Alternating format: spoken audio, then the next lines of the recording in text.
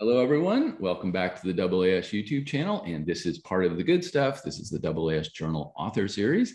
And I'm super happy to have Paula Szkody with us today. Hi, Paula. Hi, Frank. Nice to be here. Oh, well, thank you so much for agreeing to talk about your really lovely article on this September 29th of 2021. We are past the equinox. Uh, and so where are you located where equinox happened? I'm in Seattle, Washington. I'm spending half of my time up in our in the San Juan Islands wow. as a safer place in the last couple of years, but mm-hmm. we alternate back and forth. So okay. I'm now in my office. Uh, it's nice to be back in my office. I Is feel like I could work better in my office. Is this the first time you've been back in your office since the since the start of the pandemic? No, it, we come back once in a while, and we've often been. there. We have a big building of six stories, mm-hmm. and my husband's also an astronomer, so we come in. We're the only people on our floor, and we've been the only people in the building at times. Wow, good, good. Now there's more people. University. This is our first day of classes for fall quarter. Oh, okay. So a lot of students around. Okay. Are you teaching this fall? No, I'm I'm emeritus, so I finished my teaching a year ago. I did my last class virtually, and we were given two weeks notice, and we had to convert all our classes over, and that was my last one. Wow. Well, um, congratulations. So now you're just all research all the time. Well, plus AAS. Plus, you have other duties, I hear. Which takes a little bit of my time. Just a little bit, just a little bit. Oh, yeah. Uh, but that's awesome. Re- all research all the time. No more teaching. I'm jealous. I'm jealous. It's like being a graduate student again. Exactly. yeah. I, yeah. Or postdoc, because, you know, maybe been around the block once or so. So very cool. Uh, Paula, what do you like to do for research? So my research is on cataclysmic variables, and I wish I had my little picture that I usually show, but I'll have to describe what it is. Um, these are two stars that are very close to each other, separated by uh, the diameter of the sun, basically. One of which is a white dwarf, and the other is mass transferring, usually a late main sequence star, but could be a brown dwarf kind of object. Uh, transfers material over to the white dwarf. Um, so I work on them looking at, so there's lots of different aspects involved here. Mm-hmm. The white dwarf can work on the individual stars. The secondary star, you can work on main sequence stars. Um, you can work on the accretion disk, which happens when the mass transfer happens around the white dwarf. So there's accretion disk physics. We can work on magnetic fields because some of these, uh, good fraction of the, these systems have very high magnetic field white dwarfs. And by high, I mean 10 to 250 megagauss fields. Mm-hmm. And so we can study really the magnetic, how magnetic uh, mm. accretion differs from just normal disk accretion. Uh, there's a spin up of the star, so we can study how angular momentum affects the long-term evolution of these systems. White dwarfs are the most common endpoint in the galaxy, so there's lots of these things in the galaxy. There's millions as compared to like you usually hear more about the black holes and the neutron stars. Yeah, yeah, yeah. Those, those, numbers are piddly compared to uh, cataclysmic variables, which are you know all over the place, and and they're close by so we can yes, know, bio distances. So um, there's really a lot of different parts of uh, CV research, and so I mean, I spent my whole career, you know, I what I'm almost up to 50 years now studying these things. So uh, but there's a lot of things that still need to be uh, understood, and there's always something new popping up. So it's it's it's an interesting field. And I'm I'm so glad that I that I took this field when I started. Very cool. Oh, very cool. Uh, so speaking of uh, you know returning to research and, and grad students, you re reminded me of a quick story before we get to the the article. Uh, yeah, when I was a grad student, uh, I took uh, I took my cataclysmic variable class from uh, Bob Kraft. Oh wow, he was he was one of the founders yeah. of this. Yeah. Yeah. I remember, yeah, those days um, fondly. He was, he was an undergrad here, so he was, yeah, he has connections. Oh, really? I didn't know none of that. Okay. Yeah, so, yeah. Wow, what a connection. From Washington, yeah. So he's come back. He came back several mm-hmm. times to visit us and nice do different things. Yeah. Very cool. And with that, we're going to share this very lovely article on cataclysmic variables in the second year of the Zwicky Transient Facility. And Paula, take us away.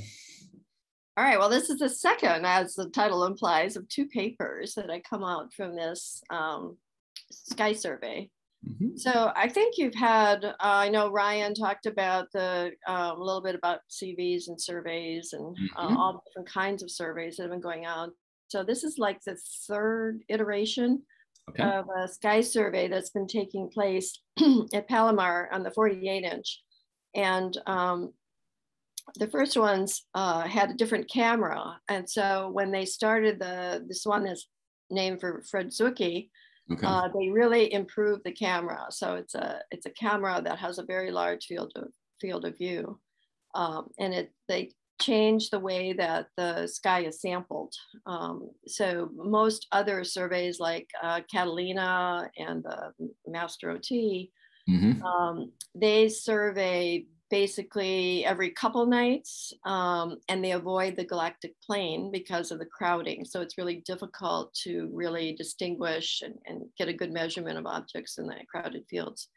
So and they and they usually do it in unfiltered light which for a ccd is kind of reddish light. So um, the differences of the zwicky facility um, besides having a larger field of view to cover you know large swaths of the sky at, at at once um, is they have multiple filters and they sample um, nightly the galactic plane. Nice. And so there's um, many more uh, opportunities for figuring out what things are from light curves. So when you're when you're trying to do things just from a light curve, it's really you there's you know the facility gets you know there's uh, many, many objects, which are millions that are coming through the uh, sky survey every night. And mm-hmm. the trick is to try to figure out how you find the object of your interest out of that sky survey. Mm-hmm.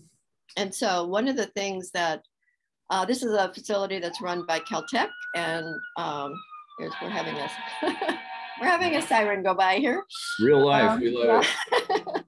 it'll it'll pass. Um, so, uh, so Caltech has started the survey. Uh, Tom Prince and Shri Kulkarni were the ones who got the funding from NSF, and then the partner institutions each contributed. And in the first part of the survey went for two years, okay. and UW, were my institution, um, was part was one of the partners. Unfortunately, we didn't have enough money to join this now because it's now in its second year uh, or second iteration, not the second year because it went yes. for two years. We're now in like the three-year extension. Uh, but I remained as a collaborator because I'm one of the, the co-chairs of, of one of the um, okay. uh, science uh, groups of the galactic plane. Mm-hmm. Anyhow, so uh, Caltech started this um, and they on the on the 48 inch, um, but they also have the 60 inch that's at Palomar as well. And they have what's called the SEDM. It's a low resolution um, spectrograph on it. So you can take spectra of sources that are found to be interesting in the, um, in the ZTF. So that's one of the great advantages besides the, the survey itself, which has the multicolors and the galactic plane coverage uh, has a, a, opportunity for follow up. And so that's you know part of what what I do and part of what this paper is presenting okay. um, is using the um, Sky Survey to sort through and find objects of interest and then do some follow up. And I uh, UW has a 25% share of the Apache Point Observatory in New Mexico. So that's primarily where I've been doing a lot of my follow up, although we've been having some instrument problems with our spectrograph. Uh, mm-hmm. Uh, we're converting over to a new one. And so this last year or so, besides being the shutdown for the pandemic, uh, there's mm-hmm. been a, a, big halt to some of the follow-up spectra that are going on. Yeah. But uh, let me say a little bit more about how I select the sources. So, um, because that involves a lot of these people that are here on the author list. Um, many of them are students. So uh, Claire, uh, Brad, uh, Brooke, um, uh, our students here. We're students. They've all gone on to graduate schools here. Uh, Anna um, was a student at, at Caltech. Mm-hmm. And then the other people listed there are all part of the what we call the builders of the survey who contributed to making the facility work. One of the important people uh, should be in there, Mansi. Uh, Kasliwal. Yep. He developed the way that I did the searches primarily. It's called the Growth Marshal. And the Growth Marshal is a web based interface where uh, you can put in a filter uh, which takes all the alerts that are coming in each night mm-hmm. and you filter them out. And my filter, which was built by Anna in the mm-hmm. early days, Anna Ho, mm-hmm. um, is used to because um, a lot of there's a lot of variability in um, cataclysmic variables and it's impossible to catch all of the types of variability in the filter but we do concentrate on the ones that have dwarf novae outbursts which is a disk instability and increased accretion onto the white dwarf it causes a rise of brightness um, by two to nine magnitudes mm-hmm. within one night so part of our filter is just the range and variability from the observation that took place the mm-hmm. last night compared to a reference image, which is compi- compiled from 15 observations or more of the source. And so usually with 15 observations, you're going to get the, the, the cataclysmic variable at its quiescent or lowest magnitude state. Uh-huh. And then if either if it rose during the last night by two or more magnitudes, that triggers part of the filter. Okay. And then we also filter on the color because these things, because the white dwarf and the accretion that's going on, the systems are generally bluer than most other um, kinds of variables. Okay. Um, and so we have a cut in the color from G minus R of uh, less than um, bluer than 0.6 in the latest, you know, in the current time, we've expanded that color because it looks like we're missing some. Okay. So anyhow, in looking, so every night, one of the students or myself would go through these. Um, the filter produced, the growth marshal produces a nice light curve of the object for the last 30 days. And so you can look at the jump and sort of look at it and say, mm, well, does that look like a dwarf nova or is it a flare star or is it RR Lyrae or whatever? So usually we're getting up to 200 sources that would pass the filter each night. And sometimes, you know, if the weather's bad, there'd be nothing. Um, but it could be, you know, you're looking at 200 objects every single night. And if you miss a night, then you maybe miss the outburst. Yeah. Um, yeah. So mm-hmm. the thing is, the you have to you have to sort of keep up because you have to save the object. So the the growth marshal has a capability. So after sorting through these every night, you would have a save and it would put it into a list. And so you could then go back to that list and you and would keep going with the observations it would keep up, keep recording all the observations for the ones that you have saved. Okay. Okay, so the end result is these two papers. So over the span, so I divided it into the first year, which included a lot of just getting up to speed, uh, getting the filters to work right, etc. And then the second year, we're just running with the filter we had. Um, that's what this paper is. Um, nice. But each each paper in each one, so we basically took this list of all of our saved objects and went through them. And this is what most of the students did. Um, went through each object and looked at looked it up in Simbad uh, and in the AAVSO um, mm-hmm. yep. uh, list of things to find out if if it was not previously known, uh, what its past references in the literature were, if it was, we went through the CRTS, the Catalina survey, the ASAS-SN surveys to see if it, that object had been picked up in each of those. We went through Gaia to find if a distance was, was obtained. And the second paper, we had better Gaia distances than we did in the first paper um, as the, what is it, the third, is it the third Gaia? Yeah, R3. Mm-hmm. Um, yeah, so it took a lot of work. So, you know, we, we spent the year just calling through this list and finding, you know, you know, a lot of typo mistakes. It was, you know, it was a mess.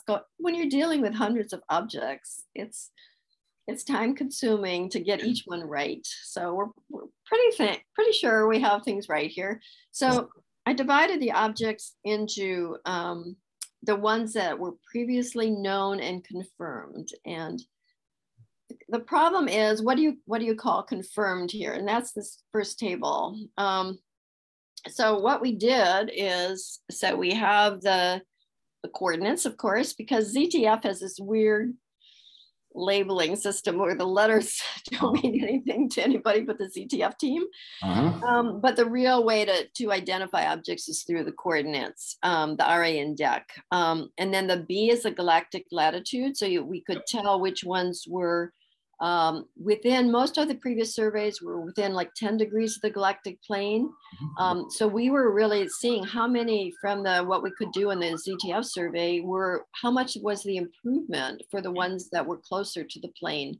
And in the first paper, we are getting a lot more because in addition to the normal survey that was going on as part of the uh, 40% that was um, funded by NSF and public, there was the 40 percent partnership mm-hmm. and the partnership data did some extensive monitoring of the plane uh, with many more up many more measurements and so there were many more objects close to the plane in paper one than in this one mm-hmm. um, then in, in, the after the the first phase after the first two years um, uh, the the survey switched to doing some other things other than this increased cadence of the plane they were still doing the nightly ones, but not oh, so much together. So they're slightly less uh, close to the plane in this paper than the previous one.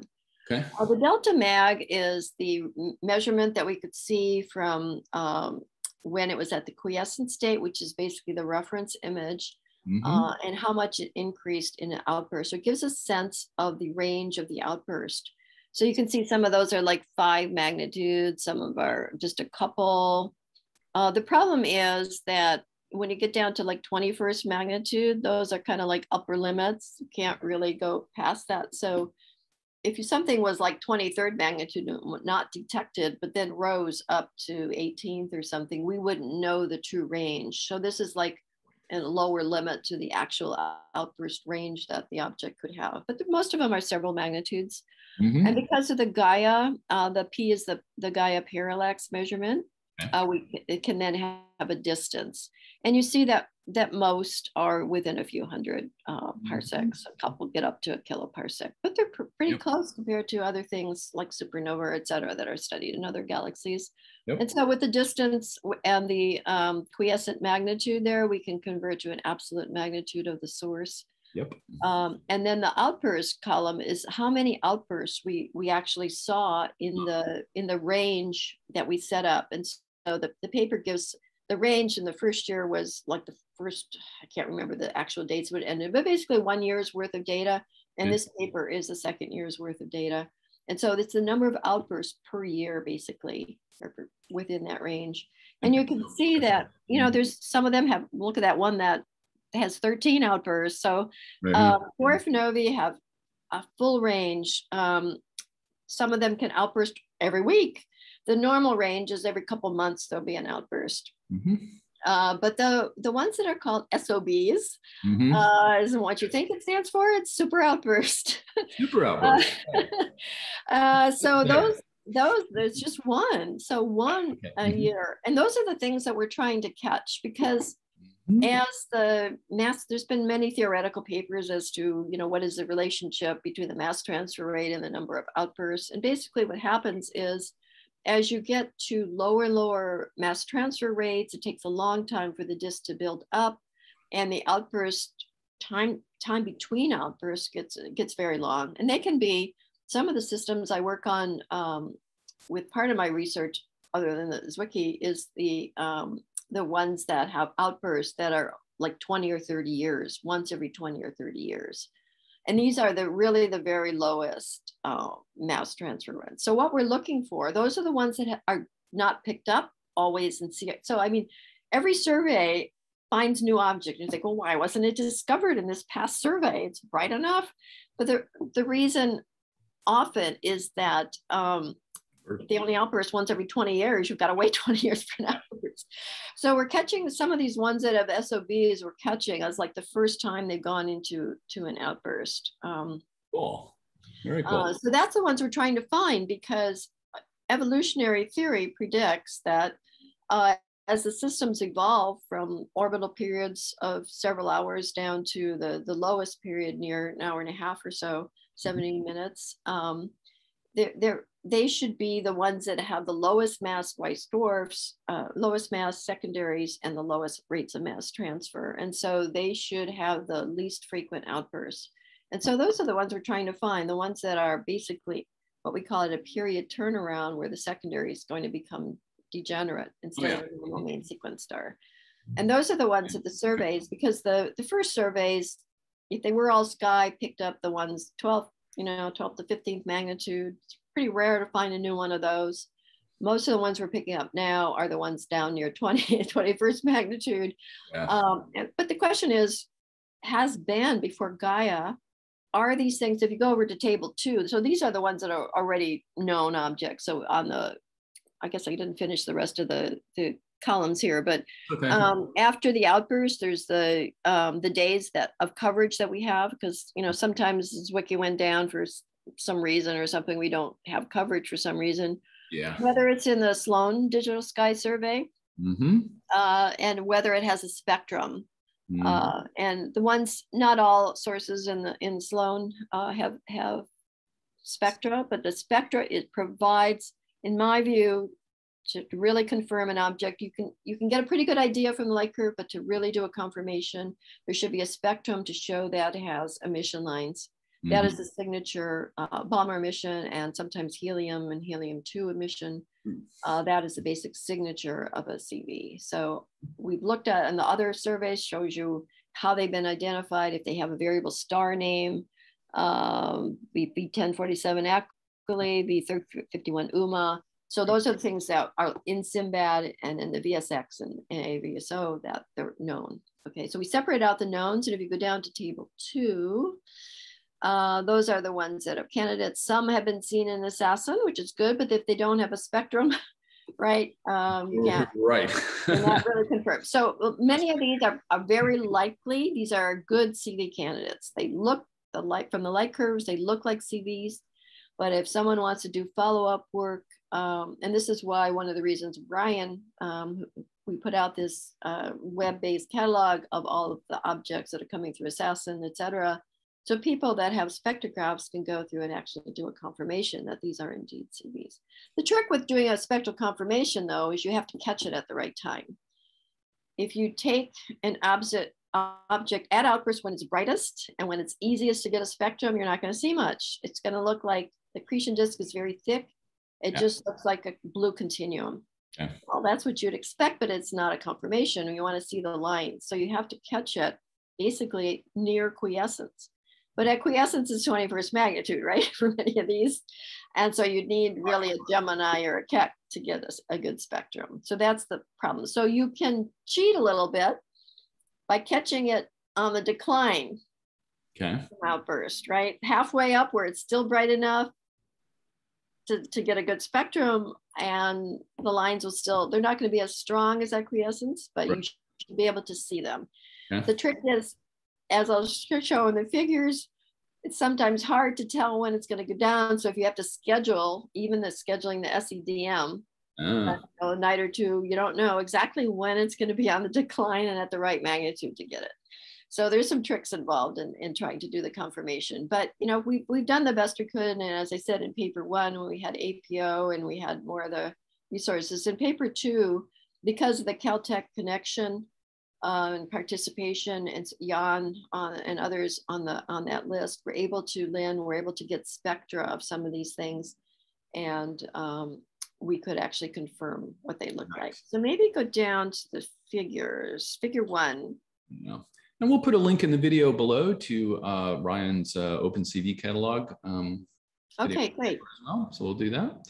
Uh, but yeah, we got quite a number of candidates. Right? Yeah, so each paper we had 300 some in each yeah. paper. So we've got like 700 total. Now, it's not complete mm-hmm. because as I said, we have, I'll say a little bit more at the end, uh, we run some other tests in different ways. It turns out it depends on the filter you're using and how you're doing the search. So every everybody doing the search finds different things based on how they're filtering out these hundreds of objects every night.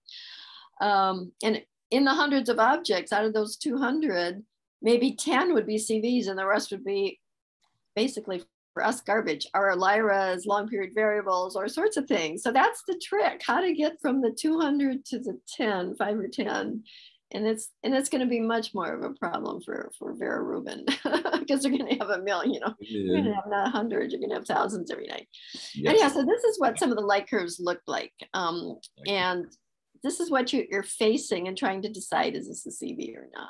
Mm-hmm. Um, and there's a huge range of behaviors. So the upper left one there uh, is, is more of a typical. So the straight red line, so the it's color coded by the filters there, uh, mm-hmm. G and G and G and R and I. Um, so uh, we had we had G being green, but then you can't use journals don't like green oh, and red because it's color blind uh, uh, problem. So we had to, we changed our, our colors here, but the, the red is basically, um, you know, the quiescent level. Yeah. And there's a couple points below, which are a little bit unusual, but you know, mm-hmm. that's mm-hmm. part of variability. Could be an eclipse maybe. So when you see something below the mean line, could mean it's an eclipsing system, but it would take follow-up, you know, intensive follow-up as I said, the periods, because these things are so close together, the orbital periods are, are on the order of one and a half to say three or four hours typically. So in one night of observation, you can actually cover a whole orbit and figure out if it's eclipsing. If you're doing photometry or if you're doing spectra, you can get a whole radial velocity curve for the mm. entire orbit. So it's really nice. These are nice things to work on. you know, because because the time scale is a human an observer's time scale. Okay, so the one on the left shows, you know, three outbursts. So you see they're pretty quick. If you expand and, and ZTF, the growth marshal has a way that you can actually expand the plots and look at the details of the outbursts.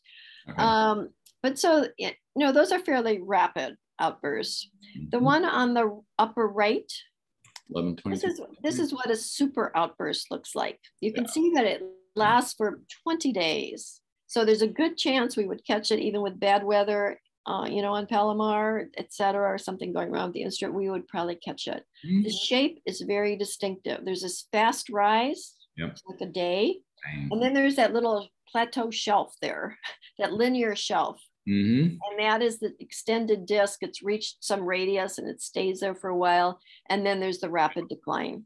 Mm-hmm. And then you see that little uh, point that goes high again right after the decline. Mm-hmm.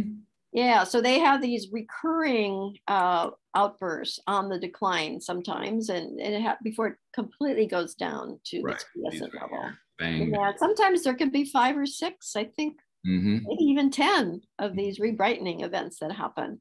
Right. And that's a characteristic of just the components and the mass transfer rates in the system. So these are kind of interesting systems to follow. They probably have all of these things have massive relatively massive white dwarfs, the, the masses that have been determined are all around eight tenths to one solar mass, whereas normal white dwarfs are pretty much clustered around six tenths for a hydrogen white dwarf. Right. Um, okay, so the bottom left yeah. shows that there's a lot of upper limits there. Yep. Uh, and then it goes up to being recognized. And this is what we call a high-low state. It's not an outburst, but you see that it, la- it can last for what, uh, 200 days? Yes. Most of the time it's in the high state, but sometimes it goes into these lows. Okay. Um, and we don't know why they huh. things shut off. Uh-huh. These are systems which accretion rates are generally very high, so they don't develop this disk instability like the, the two on the top. Mm-hmm. Um, but all of a sudden, it can shut off. And the time scale for the shutoff can be quite rapid or it can be slow and decline into one of these low states. Okay. The advantage of, I mean, at the high state, there's lots of bright emission lines. There's usually helium 2, it's high excitation, there's a lot of mass transfer. But the most interesting times to get a spectrum are at the low states because then basically the disk is gone and you can actually look at the underlying stars and see what's there. So um, usually you can see the white dwarf is hot. It usually is heat, heats a portion of the secondary. So if you identify it's an M star, uh, you can do around the orbit and see the heating effect from the white dwarf onto the M star. Um, so lots of interesting things. The spectrum is totally different uh, at the low state versus the high state. Mm-hmm. Um, but you want to be able to, and that's the advantage of these sky surveys. You have to try to identify from the light curve the best time to try to observe. And then we use multi-wavelength. So for example, um, we now have a HST program with a big consortium international of 132 orbits, some of which are to catch the low states so that we can actually identify the temperature of the white dwarf accurately um, and the component stars. So um, this would be like this, looking at the light curves will be the trigger um, to, to ask for our tar target of opportunity time. Um, okay, and then again, the one on the lower right doesn't look like a whole lot, but that's, I put that one in there because we have spectrum on this one, which looks oh, interesting. So um, sometimes you can't always, that's the problem. Some of the ones that are saying, look at the light curve, how would that ever be uh, a CVs? But then it, you look at it, well, this is a known CV. So, you know, why isn't it showing some of the behavior that we're seeing in some of the others? So there's just, it's just a widespread of things. Um, and really it takes individual study of the unusual objects to figure out what's going on and, and learn some new characteristics about accretion. So. I think at the, I would say go to the spectra now, maybe figures at figure two. Yeah, okay. Two, yes, 2 mm-hmm. Yeah, so um, mm-hmm. this is a spectra taken with um, from Keck, because this is APO was down. We probably could have done this because of well, the bottom one at least we could have done with with APO, and I'm going to actually try to get some more data on that uh, in, in, a run I have next week. Um, but so this is the top one is a typical spectrum. This is the one of the object that was in the figure one um, that doesn't look like much, but this is what you'd expect for a typical uh, CV. Co confirms it as a CV. So there's very strong uh, hydrogen lines. Uh, the decrement is fairly flat. Um, because of the disk characteristics, there's helium lines, there's 5870, 5876, uh, 4471. Um, those are helium one lines. The bottom one is even more interesting because yeah. besides the helium one lines, there's helium two at 4686 next to H beta. Ooh, okay.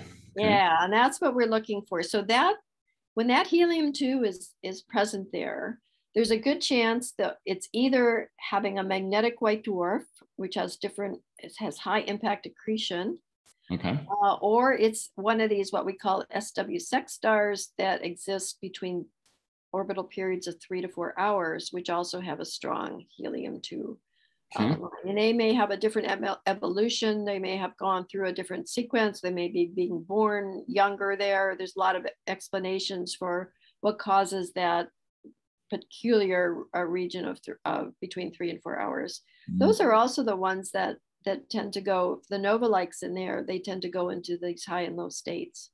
Yeah. Um, so this would be a high state. When you see a spectrum like this, it's definitely not a low state, uh, and it's it, it's hard to tell if it's a magnetic system. Um, and so this is one of the ones that we would we would flag for further orbital follow-up to, to determine the orbital period. If it's between three and four hours, it's probably an SW Sex.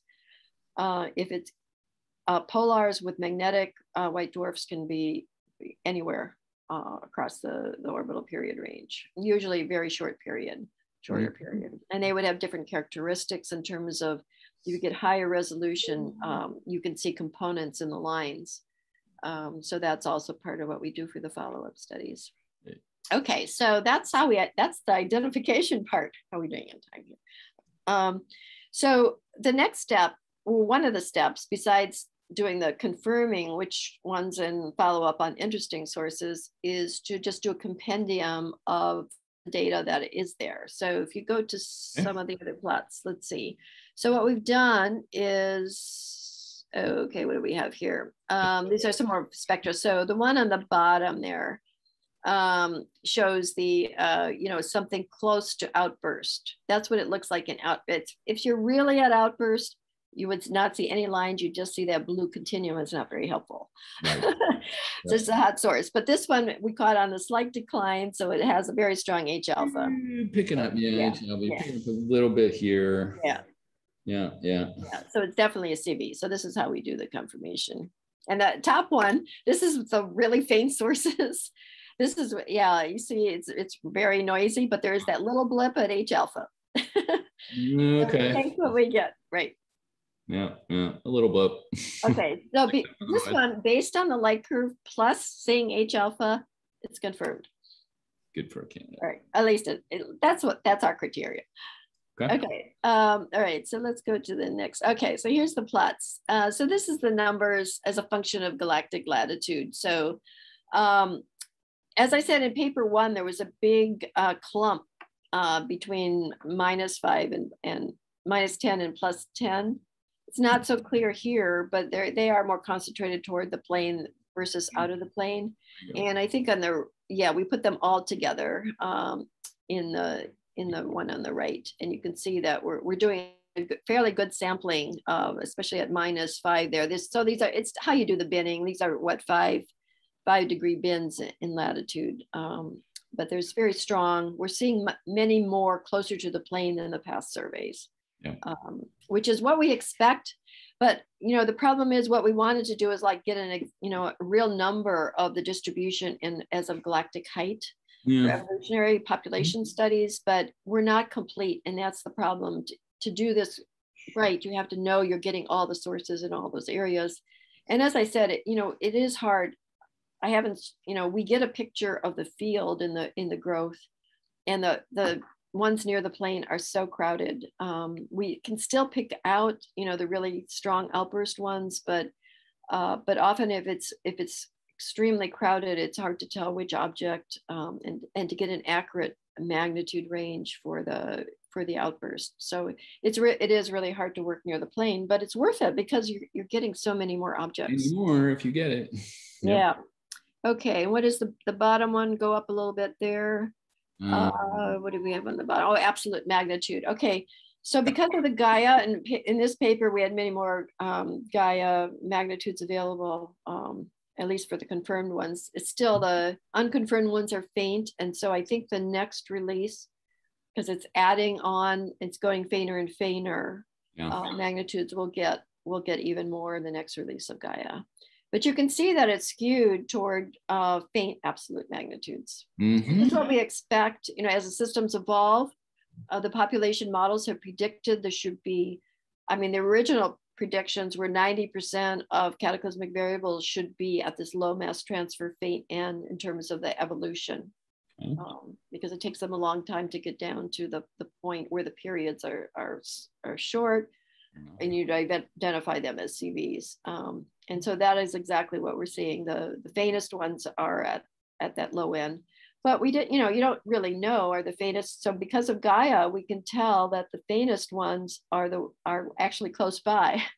So the question is, they're not faint because they're far away that we're seeing them. They're faint because they're actually they have low mass transfer. Okay. They're they're they're close by and just intrinsically faint um, because of the component stars.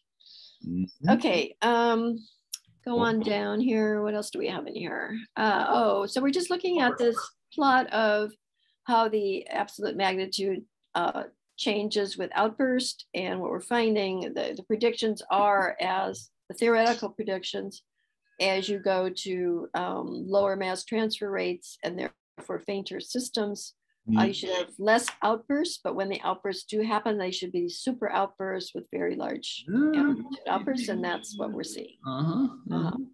So the frequency, it's kind of all over the place. So you get large and small all over, but it's basically the amplitude is, is you know, seems to be bearing out. Uh, and that's okay. the theoretical models are correct. Cool. Sorry. Oh, and here's just some more uh, examples of some peculiar ones that we found. And this is, again, this just shows you the range, but that's the fun part. Sorting through these light curves, I, you know, and the students found it, I think, to be fun as well although it's really hard to tell exactly what you're dealing with. So the one on the upper right, the 1736, uh-huh. you see when it comes down, there's that little shelf. Yeah, there's like a ledge. Yeah, so mm-hmm. that's the characteristics. The, we call those standstills. There's a, a type of CV that's right near the boundary of being a nova-like that never has outbursts because it's high mass transfer all the time, except when it turns off and goes into low states, uh, and having dwarf nova instabilities that creates this mm. outburst. So if they're right at that level, they can get kind of get stuck. The disk gets stuck in the size that it is near outburst. It's usually like a half a magnitude below the, the peak, and it can stay there up some of them stay there for years. Um, and others stay for a week or so. So that you can see that this one, you know, it, it halts there and then goes down. So this is likely as a Z Cam. So again, we should get a spectrum to make sure it's indeed a high mass transfer. And then the one below that, 1848, has that has the shape of a super outburst when the fast rise and it has that like plateau. But the plateau is like cut in half. It has this like huge dip that almost yeah. goes down and then comes back up. Uh-huh. And that's one of these kinds that, again, this is one of the situations that has, uh, you know, characteristic of the components of the CV low mass transfer. It's a short per- orbital period is a type of what we call a WZ Sge system. Uh, Kato has all these papers that identify these ah. five different kinds of dwarf novae, and this is yeah. one of the five. But it's it's it's a rare type. There's not, I think there's only a handful known like this. So this is mm. this is a fun one to find. Um, and so these others are just, you know, again, the one on the left is probably low and high states. You can see how it, you know, stays low and then comes up for a while. Mm-hmm. down. But you can see what the problem is in trying to identify some of these things. Um, you know, you really need it. The spectrum is the clincher is ter- in terms of telling you what, what you actually have there. Mm-hmm. Nice. Nice. All right. So let me say a little bit. The last section here is the completeness. So we have been using, as I said, the growth and the growth Marshall is now kaput and has trans, well, they decided to end it because they came up with a better one called the Fritz Marshall. Okay. Uh, this is only available to Caltech again, and Fritz has more capabilities, uh, but we had to transfer transform all the filters we had in the growth. And Jan van Roestel is the one who did this for our group, our CV group. Okay. Um, he's got a much better filter now. It took a couple iterations, uh, but we're now using Fritz. Um, and we've got it down to where he's got it down to. So there's only like 50 candidates to search each night instead of several hundred because of the filtering that's that's being done in the Fritz. Um, the other way, so so we've had the growth and we have the Fritz. Um, in terms of marshals web-based marshals that you're just looking at the light curves. There's also a, a section um, of ZTF from the from the Caltech group that is doing machine learning. So they've been working on this is Michael uh, Creighton and Jan uh, Van Roestel are have a couple papers out yep. uh, about a catalog. So so they're doing the machine learning and the machine learning um, works on the all of the likers available through the whole project. Mm-hmm. Uh, it only uses objects. So so the, the alerts will give you limits, lower and upper lim- lower limits. Uh, what or am I going the right way? Anyhow, it will give you a limit if it's not detected. Okay, so the alerts will, will you show you the limit. The machine learning has to have an actual measured magnitude at the low state. Uh-huh. Okay. So it will do a search in a different way, but the light curves are much more complete. So instead of looking at 30 days and maybe missing things in your nightly searches, Mm-hmm. Uh, the machine learning looks at the whole swath. So we did a, a cross check once they were getting the machine. The machine learning is an online going thing, and it's working toward putting out a big catalog of everything that can be classified. Um, I think they're trying to get that catalog out by the end of the year. We'll see whether they make it or not. Uh, but it's been a long process to get the training of the computer to recognize what these things are and classify them. Sure. So anyhow, so Jan ran, we ran a test for one month uh, with me using the growth and he, he was using the machine learning and he was finding many more than we were, but of the ones, of the many more, only 25% were considered thought to be CV. So the classifier wasn't quite doing it right at that point but I if I was missing a lot of his and he was missing a lot of mine because of this lower magnitude limit. Uh-huh. So you know, and there are other people. I mean, people are using Lasair, some of these other uh, broker Antares. Right. Mm-hmm. Yeah. Whichever broker you use depends on what filter you're using to look through the alerts. Mm-hmm. So how you set your filter determines what you find. And so who's going to be complete? I mean, we what we should be doing. That's one of the things we wanted Ryan's catalog to do is try to collect as much as we could from all of these surveys that are being done, so we have a much more complete picture. But again, it takes you can you can think something is a CV, and unless you go you'd have to go and cross check every single one to, to see what's been done and actually get a spectrum to see if it really is a CV because there's a lot of false, you know, there's some false things in there. and as you can see from the from the light curves, you can't really tell, but you can get some hints. So I, I mean, it, it's it's helpful to narrow things down and yes. and what we're looking for is the oddballs. It's it's really hard to to to get rid of all the things that are not CVs and then just the run of the mill CVs because right. there's thousands now, right? We've got oh, just you know 700 alone from not being complete on ZTF and then just the last few years. And all these other surveys are, are producing things as well. So there's you know thousands of CVs known. So what you want to do is, is find the ones that show something peculiar that can give you some insight into the creation process and the way that outburst happens and the way that evolution happens. Uh-huh. So that's that's the end point. The name of the game. Yeah. Cool. Very nice. Very nice. Paula, thank you so much for walking us through your really lovely article. And you kind of hinted at it a couple of times. Um, so let me ask you to give it a future look where do we go, let's say, over the next couple of years? Is there going to be a year three, a year four? Uh, you mentioned Rubin, um, perhaps LSST. Um, are there theoretical work that could be done uh, to help uh, pick out some, some of these oddballs? So, oh, there's a lot of theoretical work, especially with the magnetic systems, the magnetic accretion, and especially why the mass transfer just turned off. Yes. I mean, the idea is it's star spots on the secondary passing across the L1 point, but you know that's never really been proven. It's just an idea because we haven't don't have any other ideas that work. Mm-hmm. Uh, so the theory has a lot to go, and then just the theory of accretion disk. What does the quiescent accretion disk this distribution look like? No one really totally understands okay. Viscosity of an of an accretion disk at the low state. The high states are easier, no. you know, steady state maybe, um, but the low state is is up in the air still. Um, but in terms of uh, future, as I said, Vera Rubin Observatory, LSST, is going to be producing so many more of these things. And ultimately, we want to map out the millions in the galaxy and their distribution across the sky. Now, LSST is not concentrating on the plane per se. There's we're still trying to uh, I'm, I'm a member of the Transient Variable uh, Stars group and, and mm-hmm. Vera Rubin. Yep. Um, the plan is to try to, they're still setting up the cadence of how it's going to be done and what areas will be covered. And so there's going to be a, a section of the galactic plane covered. It won't be complete across the galactic plane like ZTF tried to do.